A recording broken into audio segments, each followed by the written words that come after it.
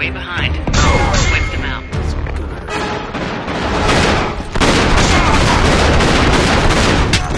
See that coming, did you?